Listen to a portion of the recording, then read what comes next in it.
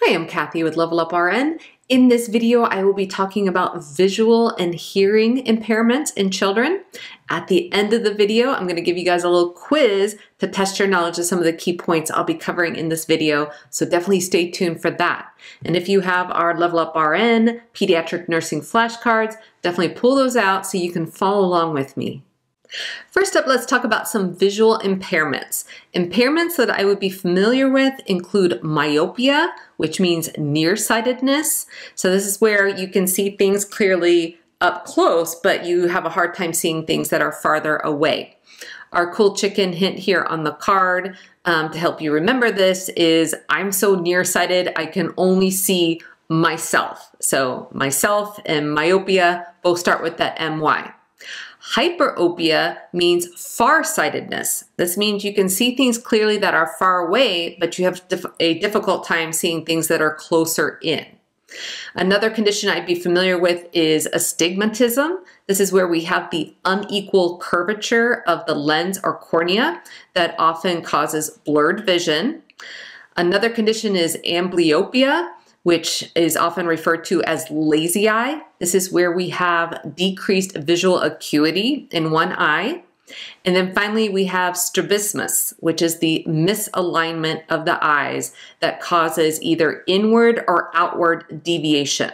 And this is caused due to an issue with the nerves or the muscle um, that controls the eye. So signs and symptoms that a child may have a visual impairment include complaints of headache or dizziness. Also, if you see the child squinting or having excess tearing or like rubbing at their eyes, that may mean they have a visual impairment. In addition, if they have a difficult time reading or poor school performance, they may need to be assessed for a visual impairment. Let's talk about diagnostic testing that can be used to identify a visual impairment. Of course, we can do an eye examination using an ophthalmoscope. We can also do vision screening using a Snellen chart, a tumbling E chart, or picture chart. Best practices uh, indicate having the child stand 10 feet away from the chart, and then depending on how many you know, letters or pictures they can see from that distance, they will be given a score such as 20 over 40. A score of 20 over 40 means the child can see something from 20 feet away that most people can see from 40 feet away. So that's what that means. We can also check for misalignment of the eyes, so strabismus, using a cover test as well as a corneal light reflex test. So with a cover test, if I suspect that the child has a deviation of this eye, right, it's either outwardly deviated or inwardly deviated. If I cover their good eye, we will suddenly see this eye move and start tracking straight ahead. And if we see that movement, while we have this eye covered, then that is really indicative that we may have misalignment um, of the eyes and that strabismus may be present. With the corneal light reflex test, we would have the patient look straight ahead and we would shine a light into their eyes and we would look for the reflection of the light and see if it's in the same spot for both eyes. So if I see that light reflection in the middle of the pupil for this eye, I should see it in the middle of the pupil on the other eye. If that's not the case, if I see it in one place on this eye and kind of a different place on the other eye, then that is also strongly indicative that we have some misalignment and that strabismus may be present. So in terms of treatment, of course, we have contact lenses, um, glasses, and laser surgery that can help correct some visual impairments.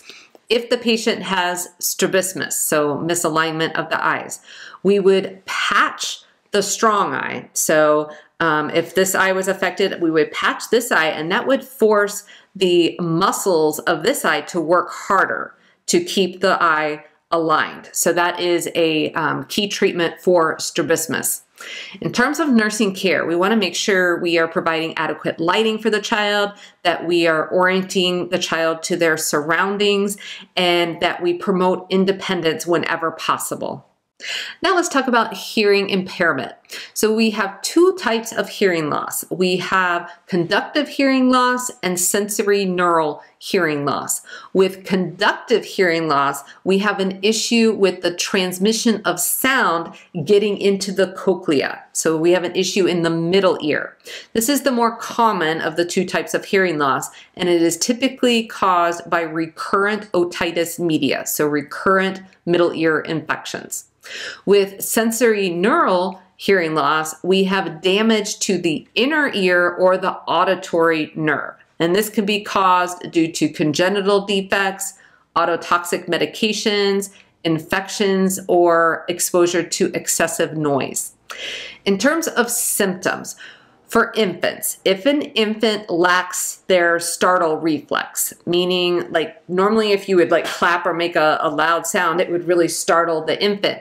If they are not startled, if they are lacking in that reflex, then that is a red flag that they may have hearing loss. Also, if they are, you know, not babbling and kind of indifferent to sound, or if they fail their newborn hearing assessment, then those are also signs and symptoms of hearing loss. In children, if the child has a speech delay, if they speak using a monotone voice, or if they yell all the time, then that may be indicative of hearing loss. Also, if the child is inattentive, shy, or withdrawn, that may also indicate hearing loss. So when I was young, I had recurrent ear infections such that I ended up with conductive hearing loss.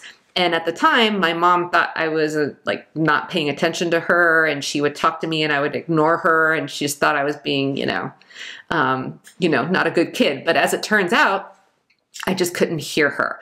So eventually, I did get tubes placed in my ear, and that let the um, fluid drain out of my middle ear, and it restored my hearing. So that is one of the um, treatments for conductive hearing loss. So if it's due to that recurrent otitis media, we can do a myringotomy, which is where we um, do an incision into the tympanic membrane or the eardrum, place these little tubes, then excess fluid can drain out of the middle ear. Um, also, a hearing aid may be indicated for some patients with conductive hearing loss. For sensorineural hearing loss, the treatment, um, you know, preferred treatment is usually a cochlear implant. In terms of nursing care and patient teaching, we want to provide a referral to a speech therapist and to an audiologist. We want to encourage the family to get yearly hearing screenings for their child. And then we want to advise our parents to prevent exposure to um, hazardous noises and to provide ear protection as needed. All right, it's quiz time. Are you guys ready? I have three questions for you. First question, what disorder is characterized by the inward or outward deviation of an eye? The answer is strabismus. Question number two, what treatment is used for strabismus? The answer is occlusion therapy. So that's where we place an eye patch over the strong eye. Question number three, what type of hearing loss is caused by damage to the inner ear or auditory nerve? The answer is sensorineural hearing loss. Okay, that is it for this video. In my next video, we are going to talk about seizures. So definitely stay tuned for that. And if you found value out of this video, be sure to like the video, leave me a comment. Take care and good luck with studying. I invite you to subscribe to our channel and share a link with your classmates and friends in nursing school. If you found value in this video, be sure to hit the like button and leave us a comment and let us know what you found particularly helpful.